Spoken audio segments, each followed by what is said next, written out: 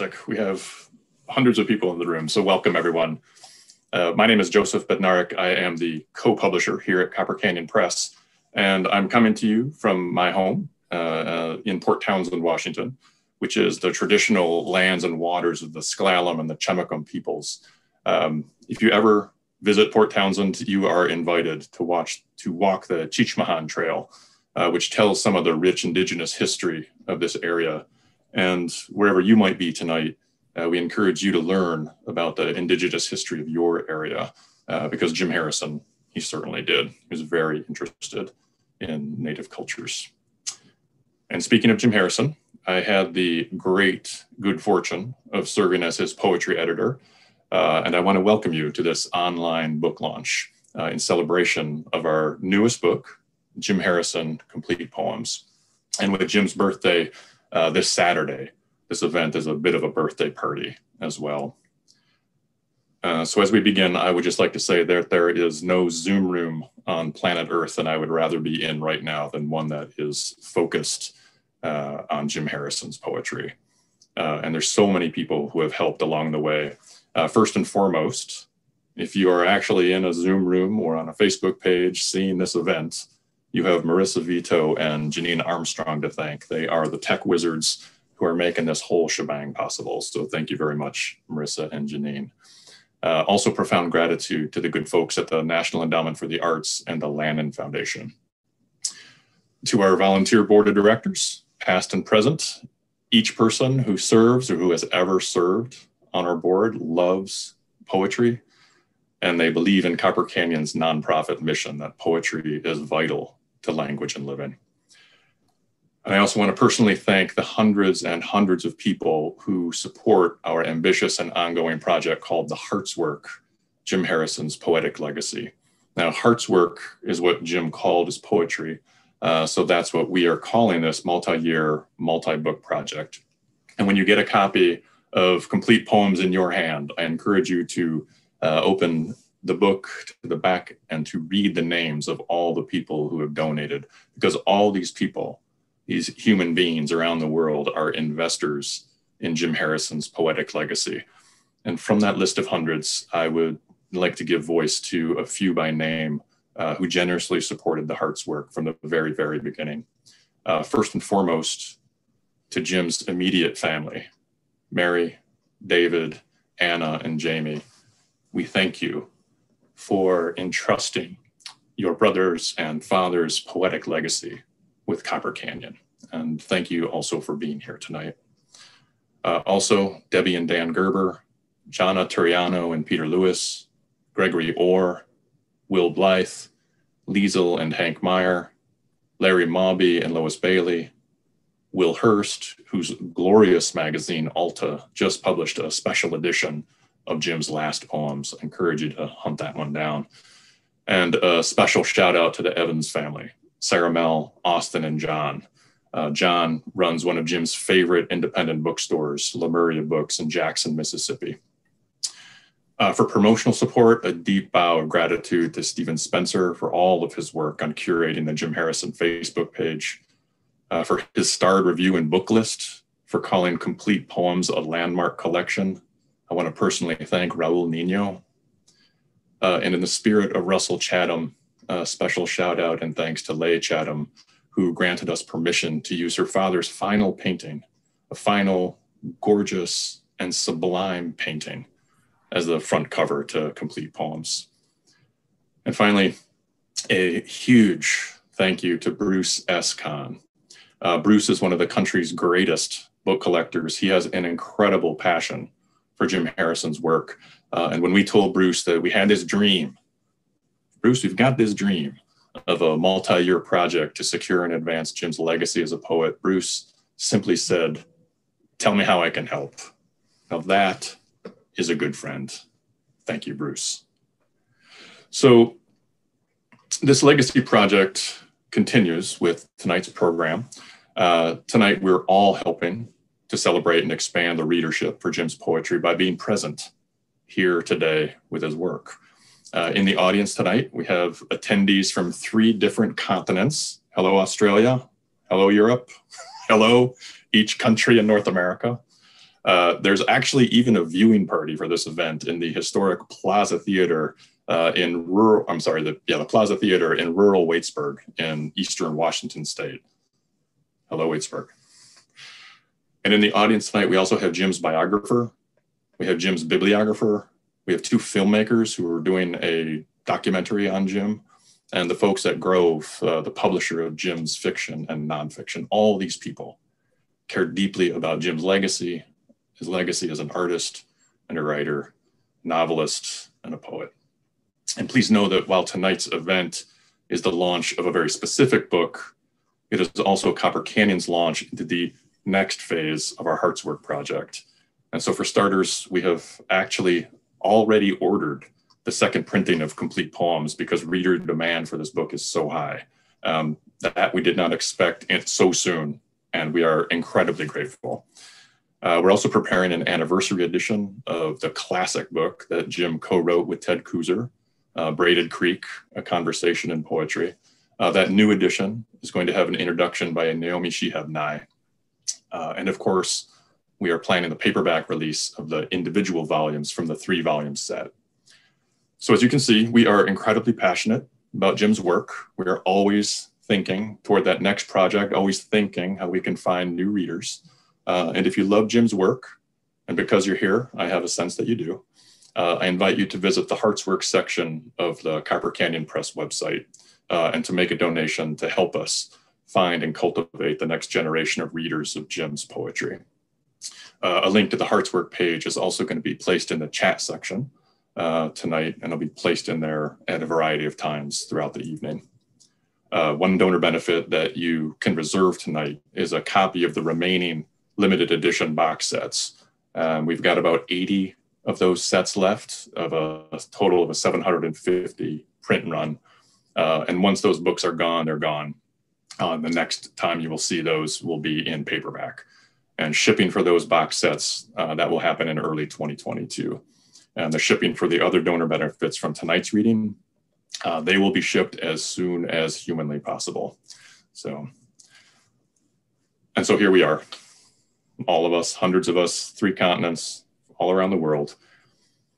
And when you open up the copy, your copy of complete poems uh, to the dedication page, you're going to find these words dedicated to Linda King Harrison, Jamie Harrison Potenberg, Anna Harrison Hjortsberg, and Joyce Harrington Bailey.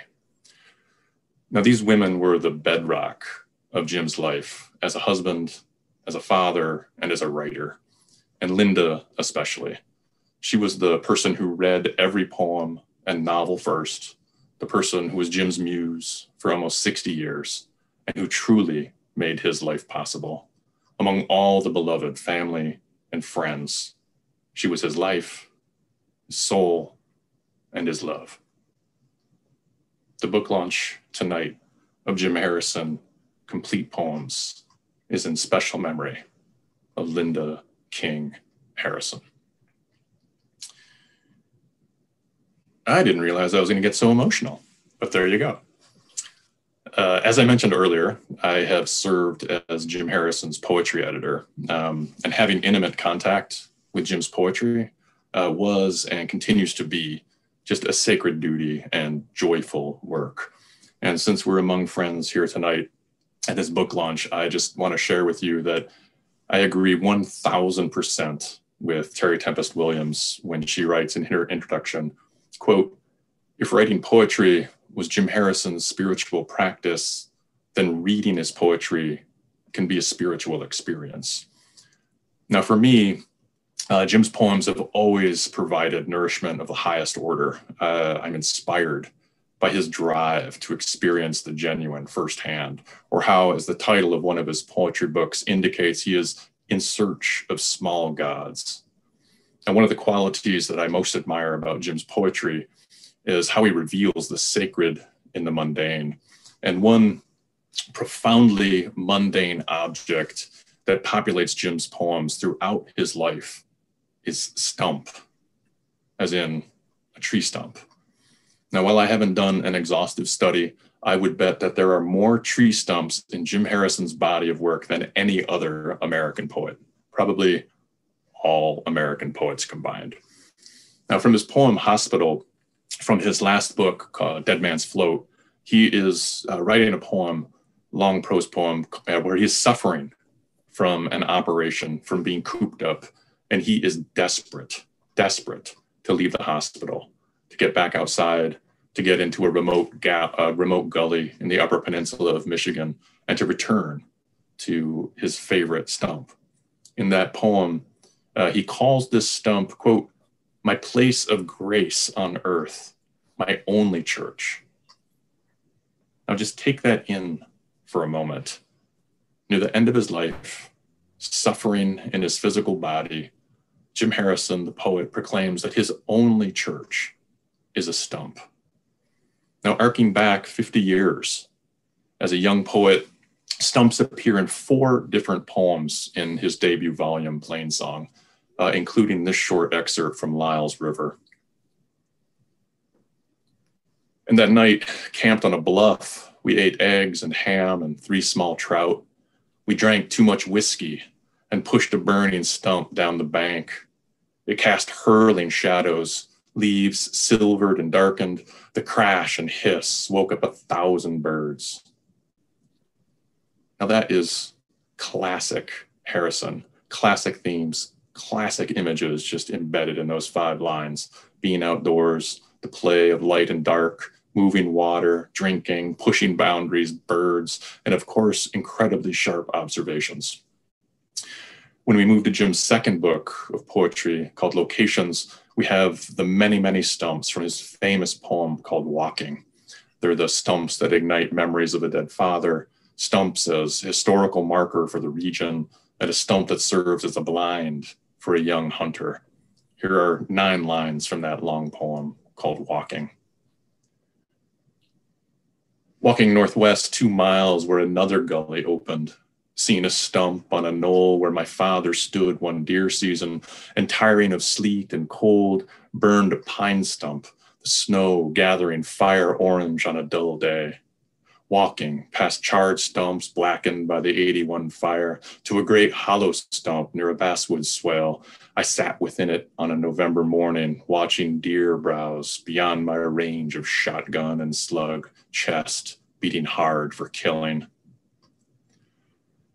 Now, I encourage you all to read the entirety of the poem Walking aloud, to feel the rhythm, feel the rhythm, to feel the rhythm of that poem, to hear the incantation of the word walking, walking, walking, and how Jim walks his way through woods, through meadows, through gullies, and through water, onto water, and into literally a mystical experience and another very first book that Jim and I worked on together uh, was his new and collected poems called Shape of the Journey. And in that new poem section of that book, uh, Jim wrote about his favorite stump, that place of grace on earth, uh, his only church. So I'll close uh, my presentation with a poem from Geobestiary. And this is Geobestiary 16. My favorite stump straddles a gully a dozen miles from any human habitation. My eschatology includes scats, animal poop, scatology, so that when I nestle under this stump out of the rain, I see the scats of bear, bobcat, coyote. I won't say that I feel at home under this vast white pine stump, the roots spread around me so large in places no arms could encircle them, as if you were under the body of a mythic spider the thunder ratcheting the sky so that the earth hums beneath you. Here is a place to think about nothing, which is what I do. If the rain beats down hard enough, tiny creeks form behind my shit strewn pile of sand. The coyote has been eating mice, the bear berries, the bobcat a rabbit. It's dry enough so it doesn't smell except for ancient wet wood and gravel pine pitch, needles. Luckily, a sandhill crane nests nearby, so that in June, if I doze, I'm awakened by her cracked and prehistoric cry, waking, startled, feeling the two million years I actually am. Now, I can honestly say that I would rather go to that church, to that place of grace in a remote gully in the Upper Peninsula of Mission, Michigan than to any human made construction. And if I asked Jim for directions to his stump, my guess is, is that he would say something like, best to walk around outside and find your own holy places, stumps, and otherwise. And in fact, he calls us all to do this over and over and over again throughout his remarkable body of work. Please when you get a chance, open up the complete poems and get ready to be marveled. So now I'd uh, like to pass the Zoom screen and the live mic to my friend John Freeman. Uh, John is a poet, a critic, an executive editor at Knopf, and founder of the literary journal Freeman's. Uh, Copper Canyon is the publisher of John's poetry, uh, and his recent book, The Park, is highly recommended uh, Johnny John has a brilliant literary mind, uh, and we invited him to write an introduction to Volume Three of the limited edition box set. And as we expected, uh, John's insights into Jim's final four books of poems, they're just remarkable. Please, John Freeman. Joseph, thank you so much for that beautiful introduction of uh, Jim Harrison's poetry and for capturing the spirit of it and uh, in, in so so few words and picking out those beautiful poems. It's so nice to watch the chat roll down and see familiar places like Folsom, California, which is near where I'm from, as well as Singapore and New Zealand. Um, I once sat in a bar in Beijing, China, talking to a translator, and I asked him what who his favorite American poet was, and without missing a beat, he said Jim Harrison. And I've I've had that experience in so many different places and unlikely places. I think partly because um, Jim Harrison had such a tangible appreciation for the vast and endless agency of nature, which I think all of us experience. And in many ways, he was the unfussy, unpretentious American word, Wordsworth who captured the, the, the feeling that nature can give to you when you see it as not an other, but yourself as part of it, and go and meet many of the the pieces of wildlife on their own terms. Um, he really understood, I think, to some degree, too, the intermingling of species, how we are part animal, part human, part mythic creature, and he he described this with a drama, um, which was uh, witchy and creaturely. Uh, I, am going to read his poem, The Bear, which um, you would think there might be 200 poems in Jim Harrison's oeuvre called The Bear, but um, this one I think is, is just extraordinary. When my propane ran out, when I was gone and the food thawed in the freezer, I grieved over the five pounds of melted squid. But then a big gaunt bear arrived and feasted on the garbage. A few tentacles left in the grass, purplish white worms. Oh, bear, now that you've tasted the ocean, I hope your dream life contains the whales I've seen.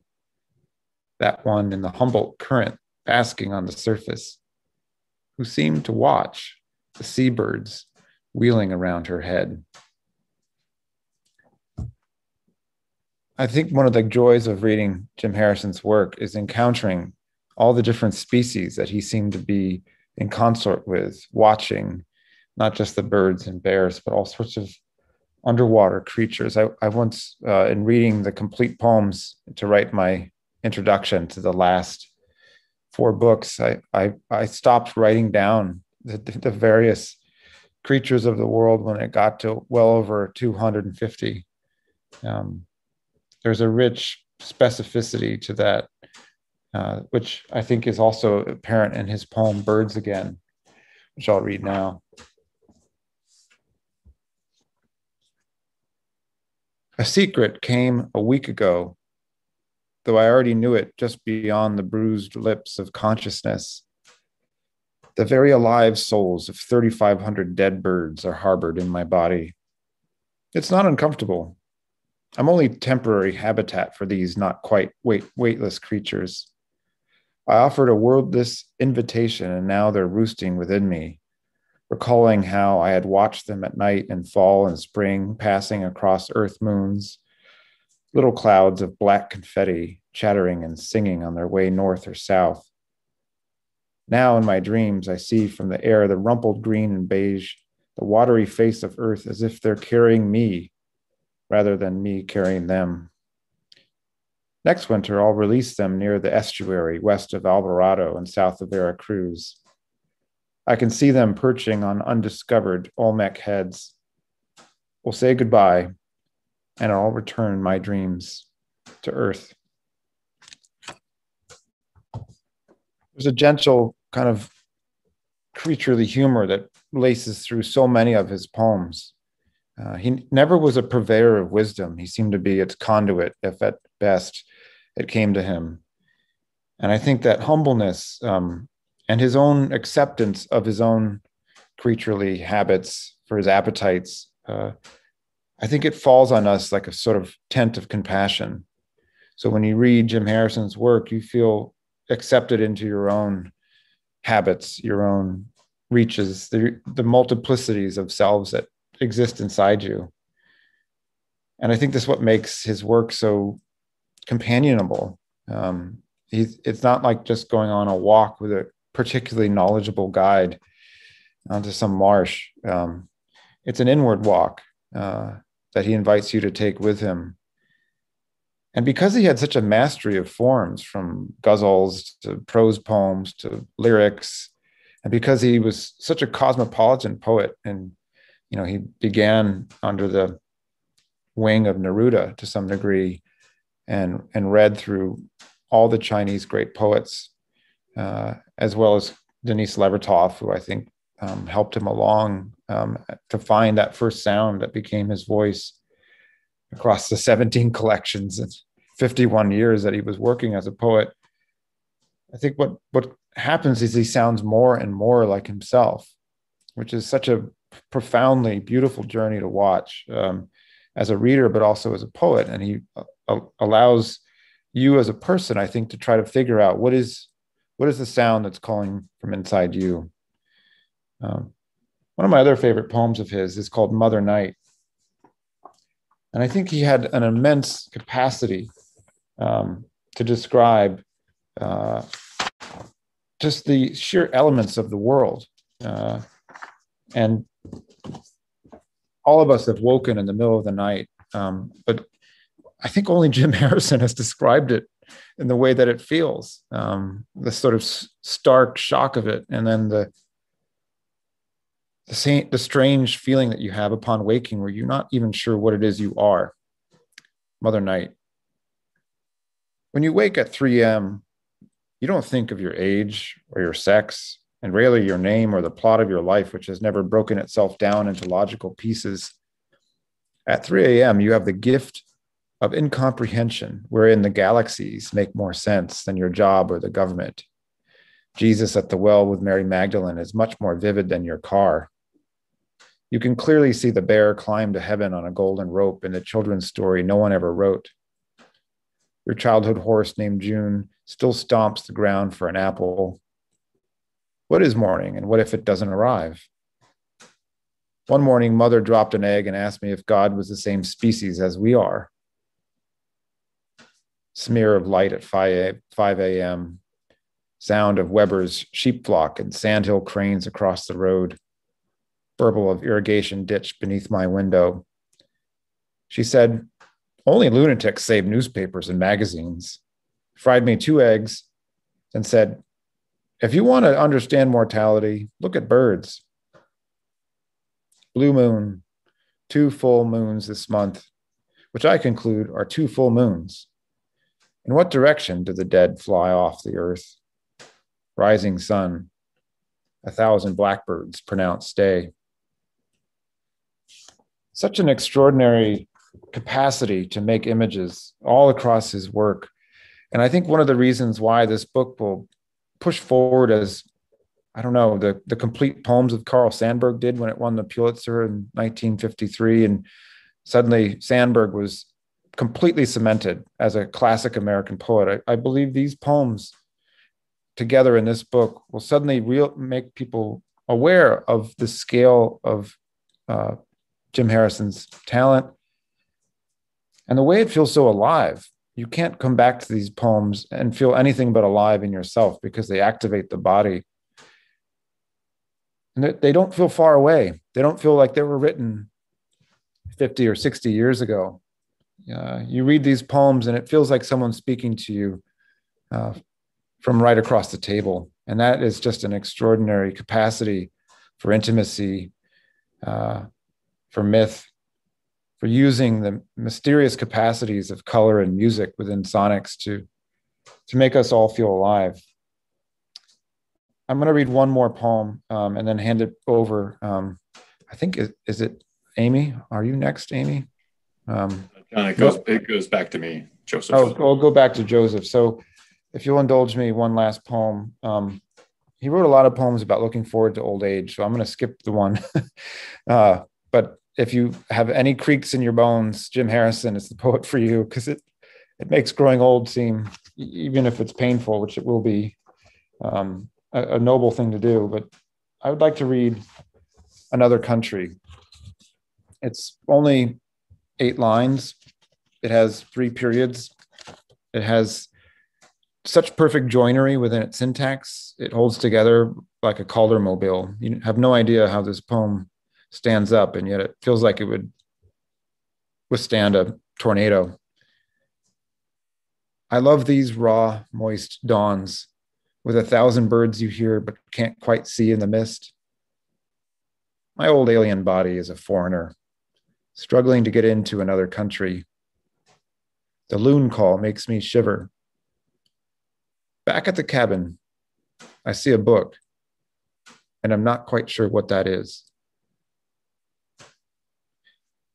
The way that Harrison could estrange himself from himself and from the work that he was doing, and invite us in into this magical kind of mythic process of using words on the page to weave a spell.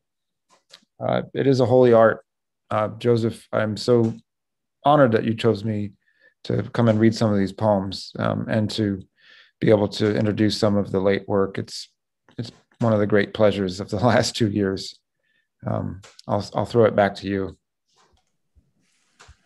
John, thank you. Oh my God, that was so fantastic. I nothing pleases me more than thinking about you out in the world with that hefty book in your lap and you just burrowing into those texts and uh, you're so beautifully articulate about uh, poetry and about Jim's experience. I'm just absolutely delighted uh, that you're here with us tonight. So thank you very much.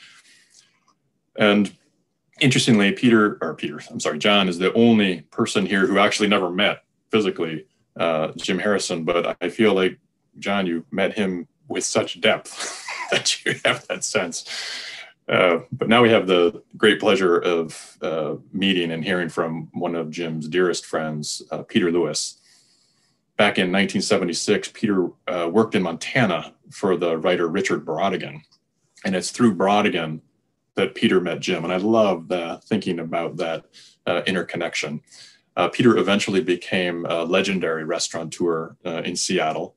Uh, and he also traveled with Jim to France on several occasions. And for those foodies uh, out there watching this evening, uh, Peter, yes, Peter was actually one of the people at the legendary 37 course lunch in France that Jim made famous in his New Yorker piece, A Really Big Lunch. Um, Jim's novels, Returning to Earth and The Big Seven, are both dedicated to Peter Lewis. And Peter, great pleasure to have you here with us. Thanks so much, Joseph. It's an honor being here with you and Amy and John and all of you to celebrate Copper Canyon's publication of this immaculate volume, Jim Harrison Complete Poems. I, I consider this the beating heart of Jim's poetic legacy project, The Heart's Work. Poetry at its best is the language your soul would speak if you could teach your soul to speak. Jim taught his soul to speak. He took his vows, accepted his vocation to become a poet at the age of 16. He read everything.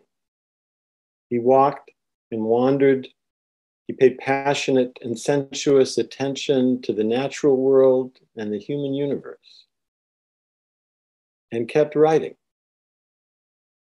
The gift of Jim's poetry traces the shape of his journey, and we can follow him, accompany him, his passions, obsessions, observations, experiences, meditations, because he gave us a map of that journey, a map of his consciousness, revealed in the poems he bequeathed to us.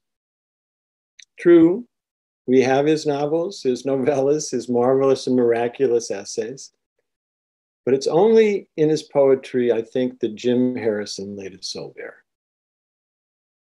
In an interview conducted in 1997, Jim was asked the salient question How do you describe the core, the spirit of your work? Harrison, this consciousness, I would say, otherness. Otherness to remind ourselves of the bedrock of life and death and love and suffering. Back to Lorca. What is poetry but love, suffering, and death? Poetry has the capacity to, to transcend death. Jim hung out with dead poets, beloved companions for over six decades, their voices and verses coming to him at odd moments, on walks, in the sound of wind rustling leaves and water breaking against shoals and shores, in birdsong, or the barking of his dogs.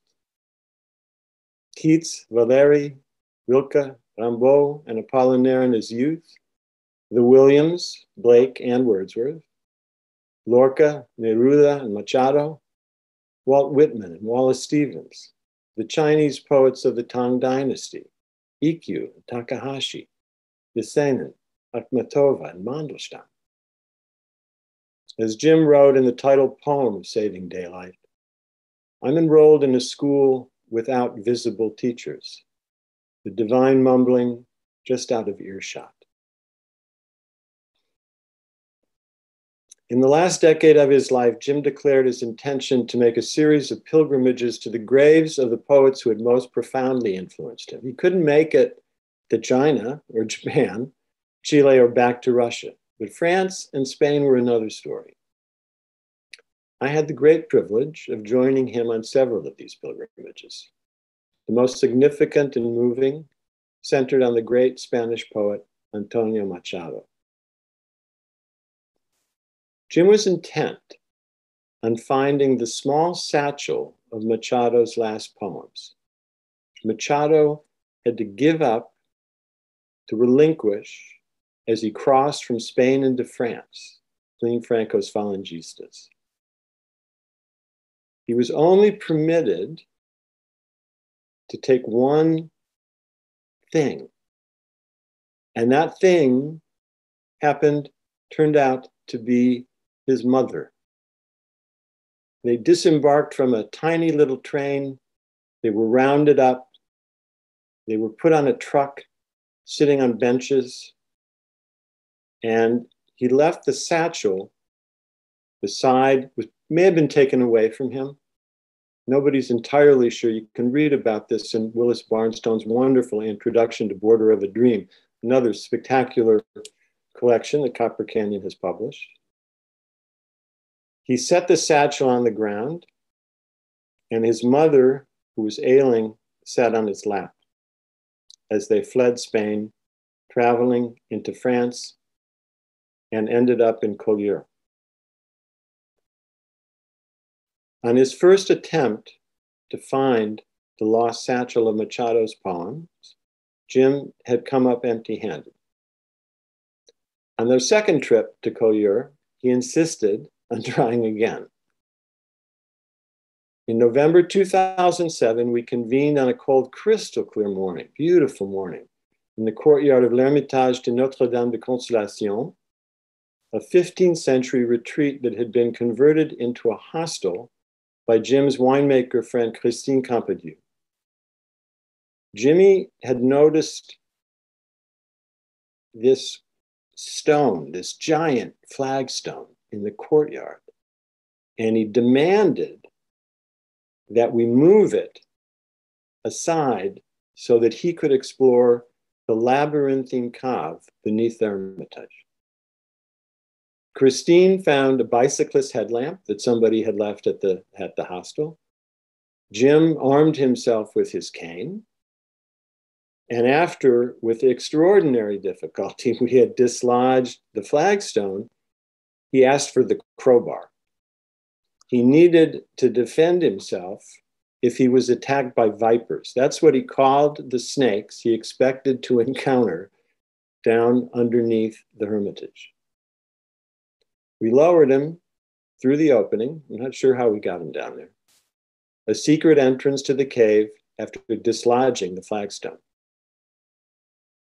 Jim searched for over an hour, could hear him, his voice fading as he wandered deeper into the chambers of the cellar. Nothing, nothing. And then finally, we couldn't hear him at all. He finally gave up. And if you think easing him down through the opening in the courtyard was tough, imagine what it was like pulling him out. He was moaning like a wounded beast. Why do they call this place our mother of consolation when I'm disconsolate that I can't find Machado's lost poems? I need some wine. We sat outside. Jim couldn't speak. He lit a cigarette and then another, gulped red wine, and gazed out beyond the walls of the hermitage to the sea, invisible in the haze. A variation on Machado. I worry much about the suffering of Machado. I was only one when he carried his mother across the border from Spain to France in a rainstorm. She died, and so did he a few days later in a rooming house along a dry canal. To carry mother, he abandoned a satchel holding his last few years of poetry. I've traveled to Collioure several times to search for Machado's lost satchel. The French fed him, but couldn't save him. There's no true path for death. We discover the path by walking. We turn a corner on no road, and there's a house on a green hill with a thousand colorful birds sweeping in a circle. Are the poems in the basement of the house on the hill? We'll find out if we remember Earth at all. The poem is testimony and testament to a poet's search. What is poetry but love, suffering, and death? We'll find out if we read Jim's poetry at all. And then we drove to Le Plan du Castellet to have lunch with Lulu Peyraud at Domaine Tempier. Jim and Lulu adored each other. I don't think they knew that they shared the same birthday, December 11th, 20 years apart. Tempier's bandol really could be described as Jimmy's soul juice. After lunch, we made a short drive to Lourmarin so that Jim could visit the grave of Albert Camus. It was Camus who wrote, There is but one truly serious philosophical problem, and that is suicide. Judging whether life is or is not worth living amounts to answering the fundamental question of philosophy. Jim answered Camus' question in the final lines of the postscript to Letters to Yesenin. Today, you make me want to tie myself to a tree, stake my feet to earth herself so I can't get away. It didn't come as a burning bush or pillar of light, but I've decided to stay.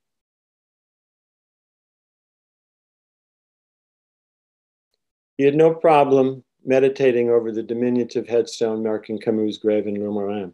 René Char was another matter. An interviewer once asked Jim, You quoted Rene Char as saying, Lucidity is the wound closest to the sun. Will you speak to what it means for you and your work? And Harrison responded, Your obligation as a writer is to be utterly vulnerable, moment by moment by moment.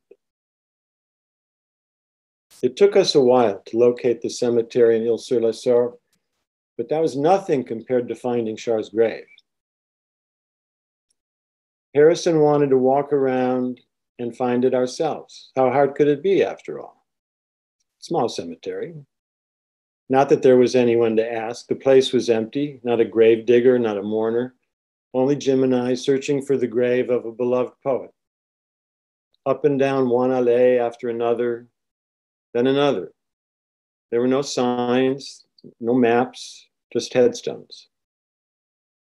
In his poem, Rene Char, from In Search of Small Gods, Jim's concluding lines read Char says that a poet is only to be there when the bread comes fresh from the oven. Isn't that wonderful? Jimmy used to say that. The wind picked up, started to drizzle. Jim finally gave up, raised the white flag, and surrendered. He was hungry. As Jim once said, sometimes the only answer to death is lunch. It was a rainy Thursday morning on our last day in France. We needed to complete the mission Jim had set for himself visits to the cemeteries of Montparnasse and Père Lachaise. We took our time. Paris' cemeteries are a wondrous death trip down the memory lane of French literature. Jean Paul Sartre, buried next to his lover and partner Simone de Beauvoir, Julio Cortázar, de Maupassant, Samuel Beckett, Charles Baudelaire, Robert Desnos. When we came upon the grave of Marguerite Duras, it elicited a rapturous sigh about how much Jim loved the lover. When we found Cesar Vallejo's grave, Jim told a story that made it into his poem Weeks, collected in Dead Man's Float. The weeks rush past, headed for the infinity of the past. 12 billion years ago before they had the job of being weeks. They're tired of it and want to go back home to a pillowed galaxy, the homeland and the spheres with no people around to bother them with multifoliate appointments. Odin is welcome to stand there indefinitely with ravens perched on his shoulders, and Vallejo to die on a rainy Thursday in Paris after collecting discarded wine bottles to buy bread. Bread alone only makes you hungrier, he said.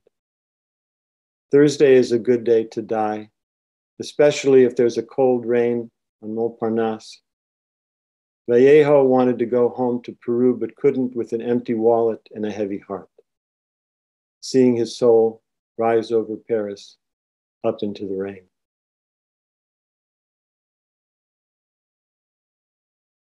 We crossed Boulevard Montparnasse and ducked into Le Select, one of Jim's favorite watering holes.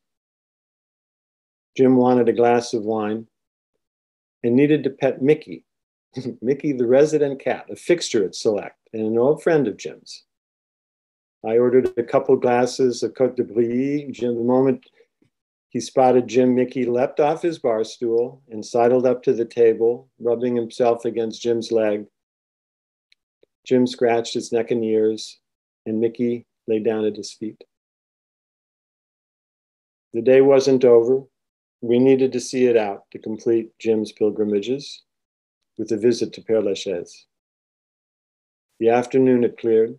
We encountered very few people and found our way first to the grave of Colette, with whose work little Jimmy was infatuated as a teenager, and then to the grave of Guillaume Apollinaire. Jim used a line from Apollinaire as an epigraph to his long poem in Interims: Outlyer. Let us open together the last bud of the future. And then Jim was done. He turned to me, reciting Lorca. I want to dream, I want to sleep the dream of the apples, to withdraw from the tumult of cemeteries, which we did and had lunch. Let me finish with Jim's poem Bridge, published in Dead Man's Float. Most of my life was spent building a bridge out over the sea, though the sea was too wide. I'm proud of the bridge hanging in the pure sea air. Machado came for a visit, and we sat on the end of the bridge, which was his idea. Now that I'm old, the work goes slowly. Ever nearer death, I like it out here, high above the sea, bundled up for the Arctic storms of late fall. The resounding crash and moan of the sea, the hundred foot depth of the green troughs.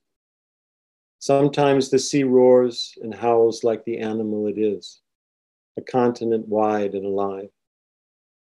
What beauty in this, the darkest music, over which you can hear the lightest music of human behavior, the tender connection between man and galaxies. So I sit on the edge, wagging my feet above the abyss. Tonight, the moon will be in my lap. This is my job, to study the universe from my bridge. I have the sky, the sea, the faint green streak of Canadian forest on the far shore.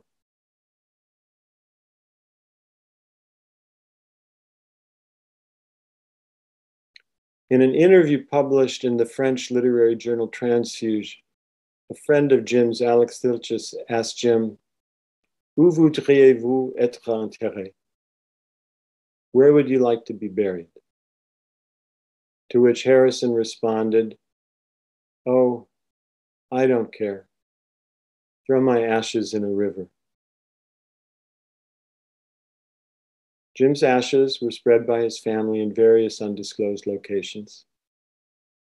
I suspect water played a significant role.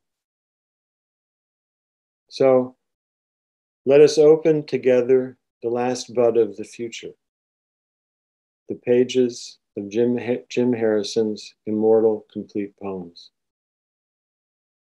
Nine bows to Joseph, Joyce, Jamie and Anna, Terry, and the blessed memories of Linda and Jim, Russell, and Lulu. Thank you. My God, Peter, that was amazing. Um, your friendship with Jim, what a friendship! I would have loved, I would have loved to help hoist Jim out of that uh, out of that hole in the cafe. what an incredible thing! Oh God, I just can't imagine it. And uh, I noticed behind you, you have a lot of little, not even little, but you have a lot of uh, accoutrements there. You have books and broadsides, and I'm assuming empty wine bottles from that contain some pretty good memories of uh, times with Jim. So thank you so much for sharing the uh, your insights and the chat. I got to say, I know that you weren't paying attention to the chat, but the chat was going ballistic all sorts. People are really appreciating the context that you provided uh, those pilgrimages because I think that uh, probably everyone here uh, tonight wants to go on similar pilgrimages uh, and do the search. Um, and such an honor for you to have been there with that search and to help him. So thank you for that. It's glorious. Now, our final guest uh, tonight is Amy Hundley, uh, who edited Jim's fiction and, and continues to edit Jim's fiction and nonfiction at Grove. Um, Amy also interestingly serves as the editor for the incandescent Roxane Gay. And I just so admire that editor's brain and soul that can contain the forces of writers uh, as powerful as Roxane Gay and Jim Harrison. That is amazing. Uh, Jim loved working with Amy. Uh, he wrote poems inspired by her presence. Uh, and Jim dedicated the novel True North to Amy and to her colleague at Grove, Judy Hottensen, who's also here tonight. Hello, Judy. Uh, Amy is currently uh, at work on a collection of Jim's nonfiction that is going to appear in uh, 2022. Um, Amy, the floor is yours. Um, can you hear me okay? Yes, I can. Um, good. Uh, well, the, the secret about Jim and Roxane is that they're both Midwesterners with an affinity for Nebraska. So, um, a wise man named Joseph Bednarik once sent me the following quote when I was working on Jim Harrison's memoir, Off to the Side. Um, it's from the Italian born Argentine poet Antonio Porchia. Out of a hundred years, a few minutes were made that stayed with me, not a hundred years. Um, I think at the time it was intended to mollify me for sending me editorial notes on a book in progress, which Jim introduced me to the possibility of by saying that I should pay attention because Joseph was his poultry editor.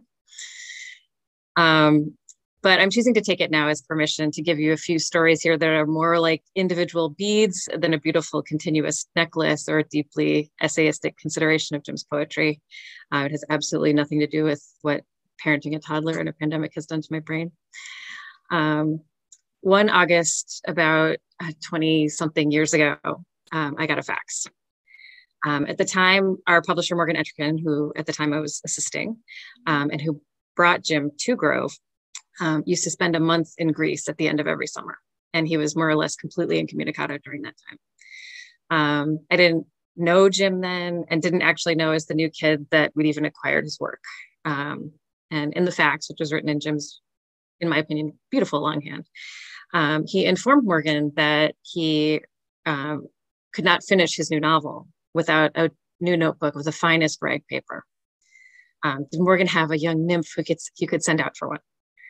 Um, well, I couldn't ask Morgan what to do, and I couldn't do nothing. Um, if I knew very little at the time, I knew that Jim was a very big deal. Um, so I took myself to the stationery store and bought him a notebook bound in blue leather and some kind of vaguely floral um, paper overboard and sent it to him FedEx with a note identifying myself as performing nymph duty. Um, this should make you laugh if you know Jim or at least a sense of humor.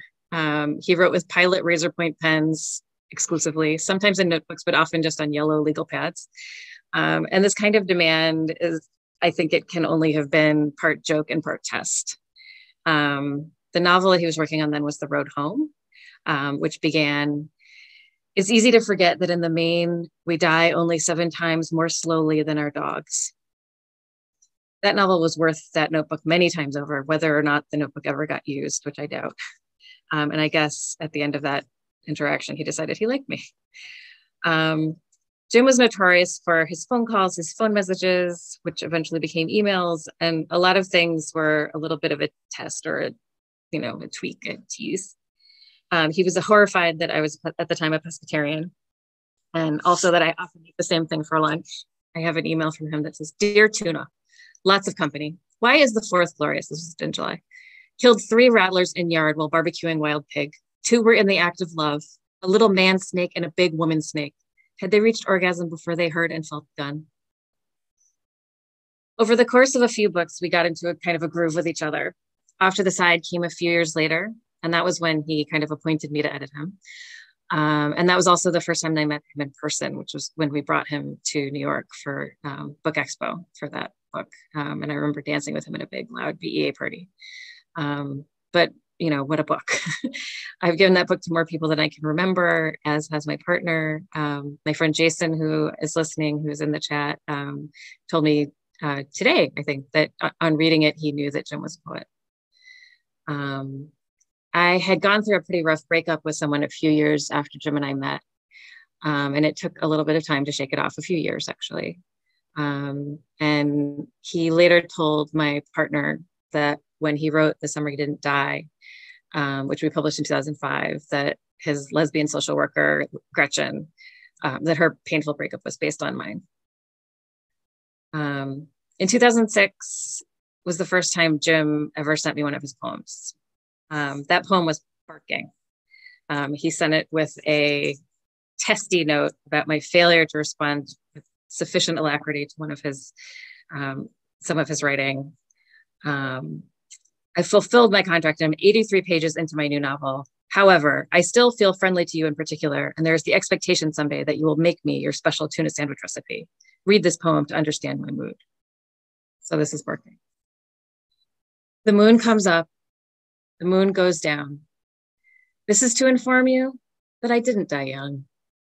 Age swept past me, but I caught up.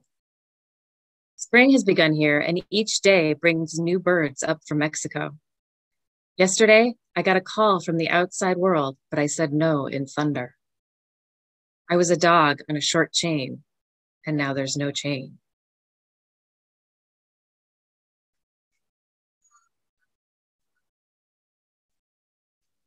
In about 2010 was the first time I ever worked with Jim face to face.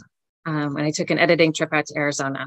And we're going to show a couple of photos that were taken then. I took them, so I'm not actually in them, um, but they're of Jim with my partner, Christabel.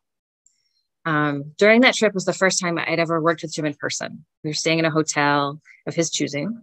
Uh, we would get up in the morning. He was very keen about starting on time. We would sometimes find him tapping his foot a little bit when we got there uh, letting us know who was in charge. And I would sit with him in his study all morning and work with him on the book. And the next room, Christabel would write or read or eavesdrop or whatever. Um, and then we'd break for lunch, which was very important to him. During one of those lunch breaks, um, Christabel was throwing a ball for Jim's Scottish lab, Zilpha, and Zilpha bit Hen's hand. Um, I think at the time uh, he had Zilpha and Mary, who was an English cocker. Um, and Christabel had read Off to the Side at my insistence when we first met, and it meant a lot to him to meet him. Um, and another thing that happened around that time was um, he was working on um, the novella Games of Night, and he wrote me, Dear Amy Muffin, one of the French girls in Reggio should definitely be called Christabel. Take your pick. Um, after lunch, Jim, of course, would take his nap, another topic that he wrote about a lot. Uh, and we'd work a little bit more in the afternoon and then have dinner together. Um, this next picture is when we were on our way out to dinner. Um, I actually think that Cunningham's Ranch House restaurant, which is not where we went, but I was I was trying to figure out where we did go. I was googling earlier earlier, and um, but that ranch house unfortunately has burned down since then a few years ago. Um, but we went to the Vineyard Cafe, and um, we obviously drank a lot, ate a lot of wonderful food, um, talked until very late. And the next morning, we're rolling in for work, a little bit bleary eyed. And Jim came downstairs um, proudly with the manuscript of a poem called Love. Love is as raw as freshly cut meat, mean as a beetle on the track of dung. It is the Celtic dog that ate its tail in a dream. It chooses us as a blizzard chooses a mountain. Its seven knocks on the door you pray not to answer. The boy followed the girl to school, eating his heart with each step. He wished to dance with her beside a lake, the wind showing the leaves' silvery undersides. She held the moist bouquet of wild violets he had picked against her neck. She wore this she wore the sun like her skin, but beneath her blood was black as soil. At the grave of her dog in the woods, she told him to please go away forever. It was around 2006 that I made the cut to be on the list of what Jim called his poetry friends. Um, he sent his poetry out to a group of trusted friends, more or less as he wrote it, I think. Um, so I saw quite a few of his poems from then on um, as they were being written, probably not all of them. Um, but it, that was about eight years after that first contact with Jim. It, was, um, it, meant a lot to me to be included in that. In my two editing trips with Jim, the one thing that really impressed itself on me was how deep and solid and bedrock was his relationship with his wife, Linda. That was something he kept very private for himself. Um, I knew Linda, obviously, on the phone before I met her in person. Um, but he didn't talk about her much in interviews. He didn't bring her on the road. She came to New York for reasons of her own, but not for publishing reasons. Um, meeting her, a whole other world opened up to me, and it became clear to me how much the image of the lone writer was just that. It was something he constructed in the same way that he put on a public self for a reading. Um, and while I wouldn't presume to say what anyone else's real self is, the real life he shared with Linda and Jamie and Anna were very much his anchor and his gravity. Um, and um, in the process of editing Search for the Genuine, uh, which is the collected nonfiction that Joseph mentioned, which draws from his very early career in about 1970 to right before he died, Um, we've been pulling together some very beautiful photos of Jim, and that one of Jim and Linda is one that I believe was taken in London by Dan Gerber. I love how it captures the passion of their young love and the real connection between the two of them. It's, it's very evident to me. Um, this is a poem that I think of. Older love. His wife has asthma, so he only smokes outdoors or late at night with head and shoulders well into the fireplace, the mesquite and oak heat bright against his face? Does it replace the heat that has wandered from love back into the natural world? Then the shadow passion casts is much longer than passion, stretching with effort from year to year.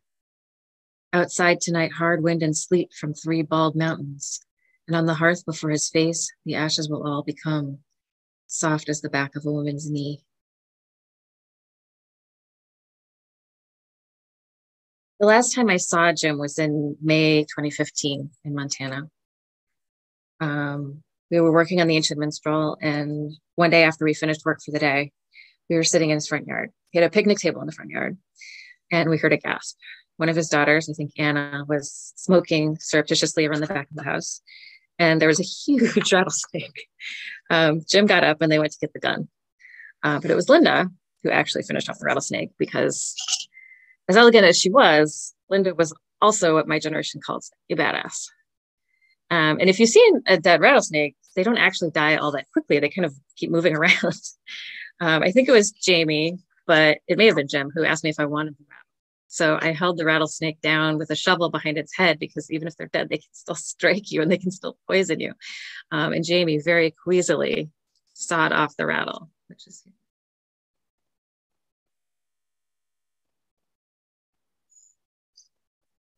right, this is one last missive from Jim.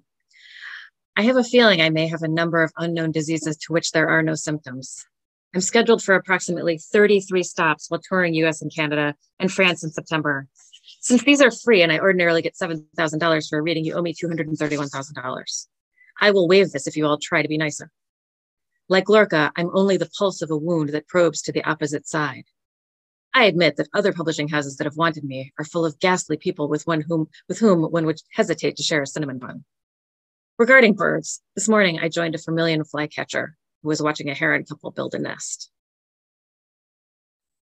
Uh, the last poem I want to share um, is one of his last poems. Um, it's from Dead Man's Float, and it's called The Sacred Art of Log Sitting. Um, as Joseph has said, it's something he wrote about a lot. It was kind of his way of greeting the day and the land. Um, it is a meditation practice, and it also returns us to Zilpha. So this is it's a long poem, so I'm going to just give you a few little. I want to walk in the morning with Zilpha again. I want to walk in the morning with Zilpha again. I want to walk in the morning with Zilpha again. Amen. And I want a bird hunt, which I've done with intensity for 40 years in a row. Is this even possible? The answer, come to find out, was that I couldn't keep up. Zilpha would flush some birds, then look to me, wondering why I hadn't shot. I was far behind, sitting on an Emory oak log and staring hard at the landscape. So I decided to make some notes on the sacred art of long sitting, log sitting. Approach the log cautiously with proper reverence, as if you were entering a French cathedral or the bedroom of your lover. If it's over 60 degrees, inspect the lower sides of the log for Mojave rattlesnakes. Now, examine the log closely for the most comfortable place to sit, usually away from the sun. Sit down. Empty your mind of everything except what is in front of you, the natural landscape of the canyon.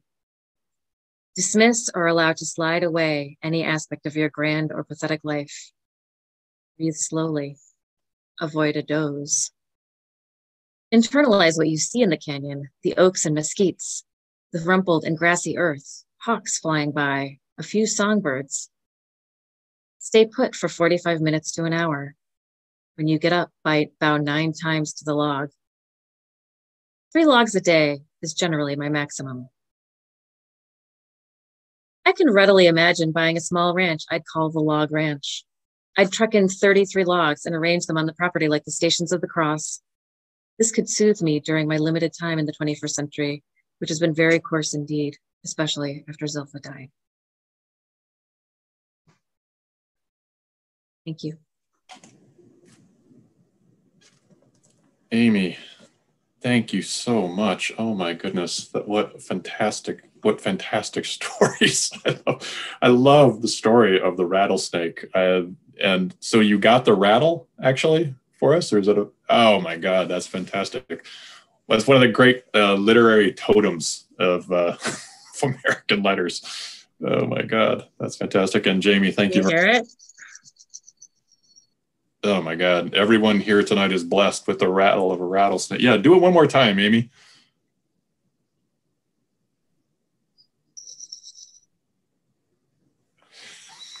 That's just, oh God, that's utterly fantastic.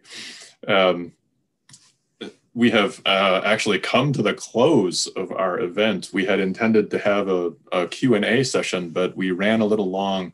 Uh, we want to honor everyone's presence. Um, and honor the time.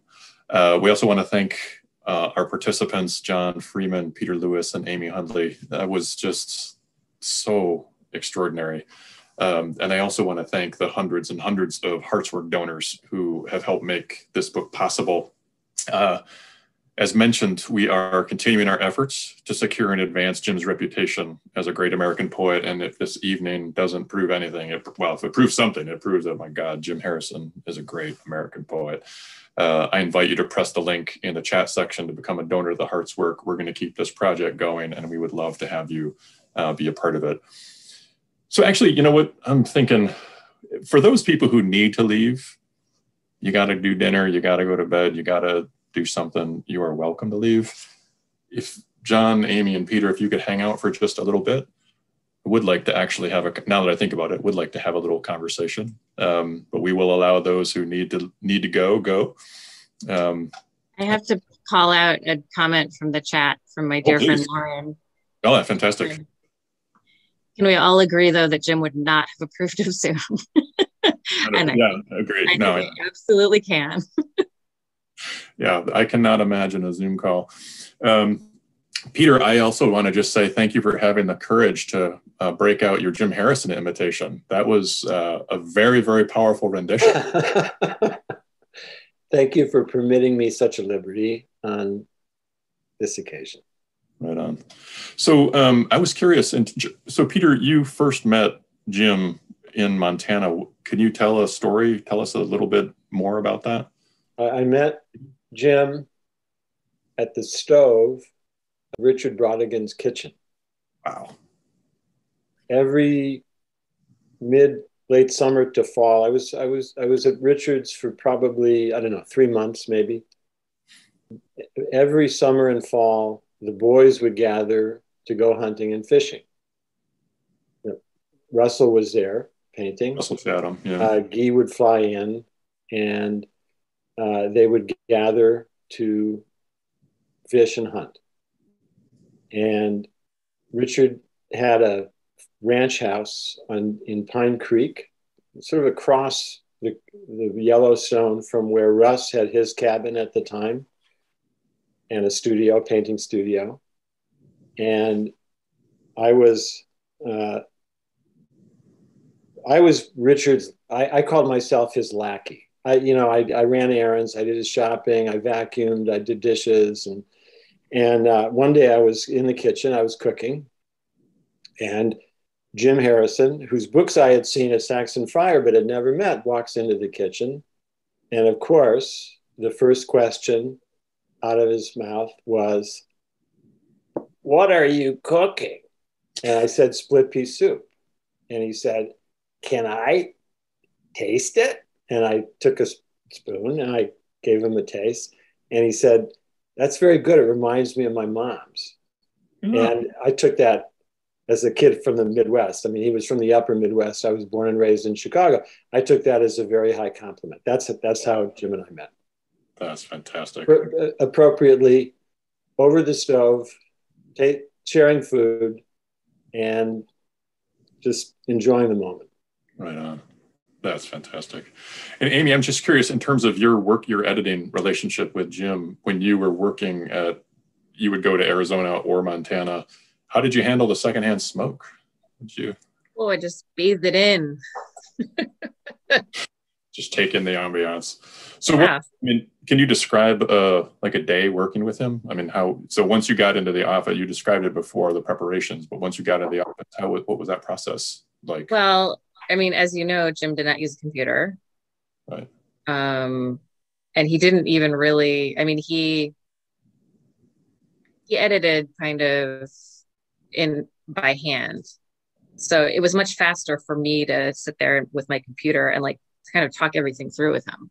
So I would read him a passage and I would, you know, make my comments and then um, we would we would negotiate what it should read and then I would read it back to him. I'd type it in and read it back to him. Right. So you're actually typing during that time? You're on yeah. Wow. So my computer also had second mode. Wow, that's impressive. That is great. And John, moving over to you, I would just like to ask you a question. So, you know, as I said earlier, you're the only person here who hadn't, you know, physically been in the same space as Jim, but somehow I feel like you have this really rich, deep relationship um, with him. I would love to find out your process, especially in reading. I mean, it's a, it's a, it's a quite a task to read the body of work. I task. I mean, it's a joyful task, but reading the body of work. And I'm just curious, like, what was that process to watch his work unfold over uh, 50 years in a concentrated reading session? Actually, I um, you were very you very kindly sent me all the books um, well enough in advance that I could I could live with them. You know, the the, the books are the the span of work is so impressive um, because he although he had themes that he came back to and images he came back to, he doesn't really repeat himself. Hmm. There's this immense variety within dailiness that you feel within his work. And the books are different. Dead Man's Float is very different from, you know, the, the, the books which precede it. Um, and so you you feel you're like you're on this journey with him. Um, and there's a there's this, you know, it's not like a parked car in an overnight church parking lot, you know, cold to the touch. His work is always warm always you know when you when you pick it up and that that to me means it will it will stay and you know these and I, I i think um something that um amy and peter both mentioned was his sort of deep sensual appreciation for not just living um but for the world itself and its 10,000 things. And you know, we live in such a um, a country kind of haunted by its um, its its uh, starchy Christian um, beginnings in in the in its colonial era, um, and I think Jim is a repairer mm. uh, to some degree. He repairs us to ourselves um, and and mm. permits us through this exquisite ability to inhabit the senses it's not gluttonous. It's it's completely opposite. It's it's something kind of whole. It's it's a holy appreciation for aliveness, mm-hmm. um, because the you know the, the many religious traditions teach us that the flesh is is is bad. It's our problem that it that our bodies are are already fallen, and and he manages to um, over the course of all those books, and it's magical to watch it. He he um he sort of, without even appearing to try to, he David Blaine's his way out of original sin. Mm. Um, and I just, I, I love that. I love watching that. Um, it's, it's, it's something we, I think we continuously need, um, being in this strange, you know, body that we, we all are born into. Um, uh, it, it, it's a,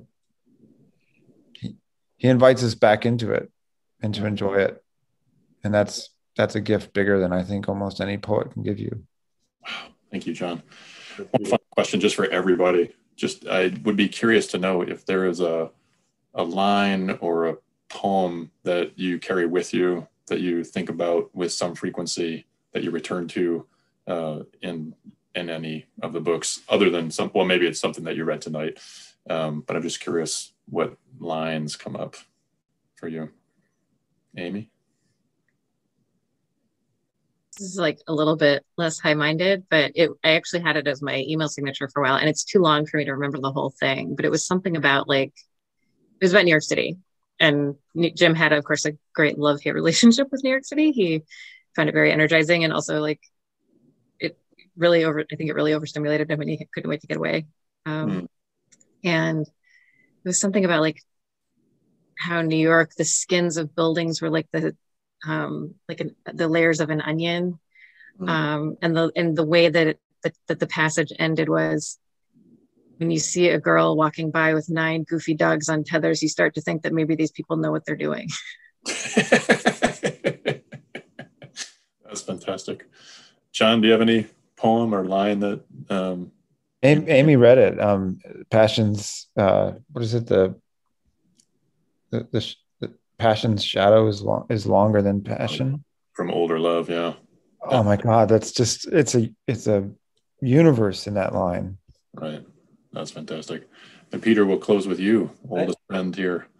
You know, I, I can't say that there's a line. What I what I tend to do, I have always one of Jim's books on my nightstand. Hmm. And I open the book and then I, I can't stop reading, hmm.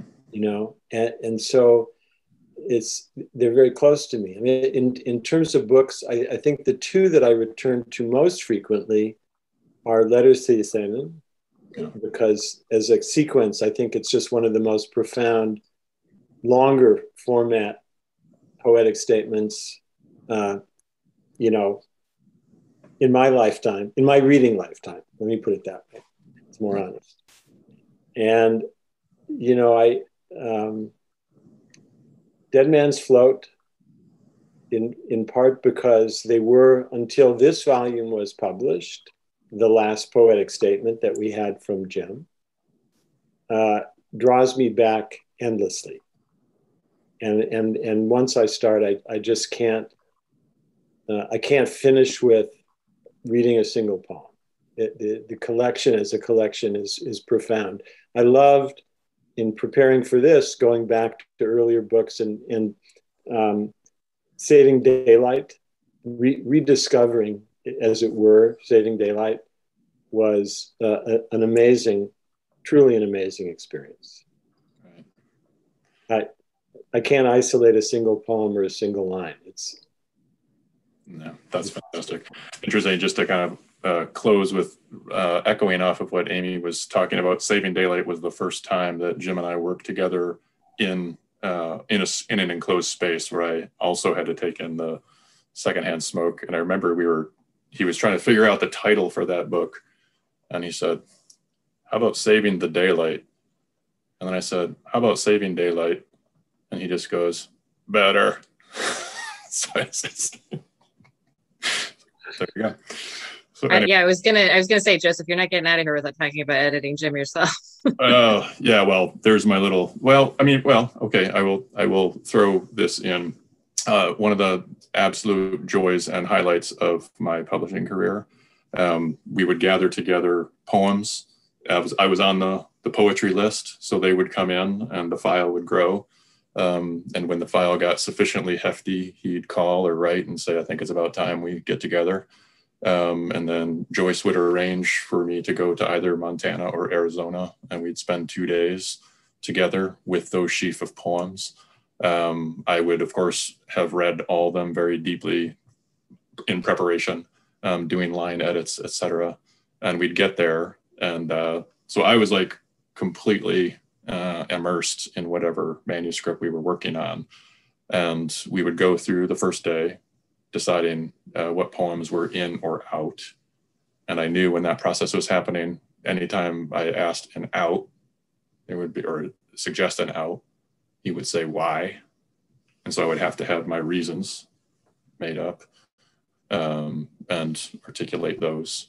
Uh, after that process was done, we would go through and do line edits um, and again, the same thing, I would have to have very uh, good reasons why I was making the choices I was, or suggesting the choices I was suggesting. Because that's one thing I told Jim. I said, You're the artist, you know, I literally am just your last best reader before you go public with these. So you're it's they're all your choices, you know. Um, and the one thing that um, I think that we uh, or one of the reasons I got into the room is because I cared so deeply about the work, and that's really all I cared about. Um, that when I left Arizona or Montana, that we had the best book that we possibly could have, uh, and that's was the entire deal. Um, and so, like you, arrive early in the morning, work in the morning, break for lunch, have a nap, maybe do a double, sh- you know, work in the afternoon, out to dinner.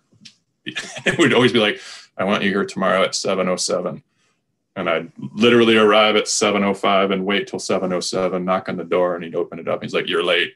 It's like, you know, come Jim.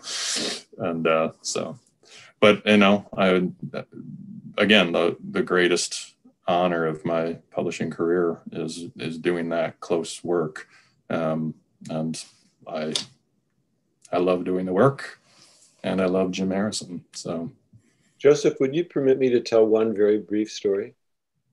Sure. I'll try to keep this very short. I want to tell the story of the first time that I met Joseph. Oh, yikes. Jim and I were in Portland, Oregon. Oh, uh, he was there to do Portland Arts and Lectures. If you one committed to Seattle Arts and Lectures, it involved going to Portland to do Portland Arts and Lectures.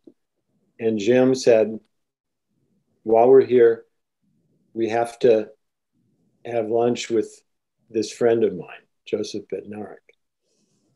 And we met at that little Italian restaurant over in Southeast Portland. And who, yeah, I think you were working for uh, working with Story, right? At the time? Storyline, yep. Yeah. And when I was when years later after we met you and but he had he already had so much respect for you and and trusted you.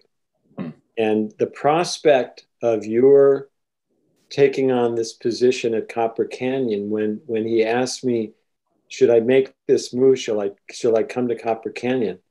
I i, I said here's the thing. Sam hamill wants you to come. I want you to come. But you're going to have Joseph Bednarik as your editor. I promise you that Joseph Bednarik will be your editor at Copper Canyon. And I think that that really, I think that sealed the deal because as you and Amy both know, that relationship between writer and editor is such a critical relationship. And that's how much he trusted you, how much he trusted Amy, certainly. And I just want to pay tribute. You're moderating. So I'm taking a liberty, but I want to pay tribute to the very special relationships that each of you had with Jim because you are the the, the midwife and uh, what uh, mid husband uh, yeah, I'll, I'll, I'll take that. nice. poetry and prose fiction delivered to the world, and and we're so indebted to you both. Oh, thanks, Peter.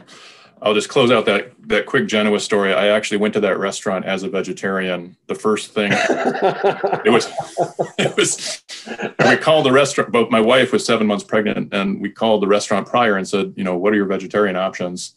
And there was this long silence on the phone, and they said uh, it's a prix fixe menu. There, uh, we need 24 hours advance notice if we're going to do vegetarian. I'm like, eh. so, so I told I told my wife. I said, you know what? We'll just eat around the meat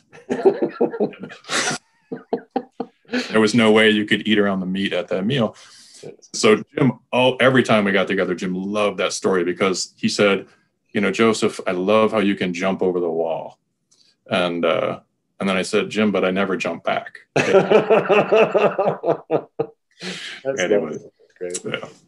Well, guys, this has been an amazing evening. I am so happy to have been here, and I truly, I, there is no place I would much rather I would rather be than right here. Um, so thank you for spending uh, this time with us. Thank you very much for your advocacy of Jim's work and uh, the complete poems. And uh, I, I wish you the best. Blessings to all of you. It's a beautiful, beautiful book, Joseph. You should be very, very proud. Thank you so much for asking me to participate. Uh, my, my great joy. And uh, thank me and thank all of our Hearts Work buddies. You're amazing. All thank right. you so much. Thank and thanks to all the staff at Copper Canyon for us. I will. It's extraordinary. I will. And thanks for